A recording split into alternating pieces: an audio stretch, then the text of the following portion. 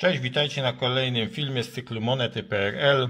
Moneta 10 zł, Tadeusz Kościuszko, rocznik 1966, nakład 4 miliony 157 tysięcy sztuk.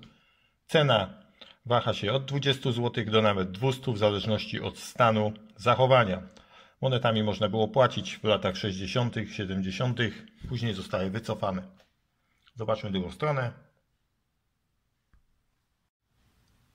Druga strona wygląda tak. Polska Rzeczpospolita Ludowa, orzeł bez korony, znak mennicy pod łapą, rocznik 1966, czyli 1000 lat państwa polskiego w tamtym roku było.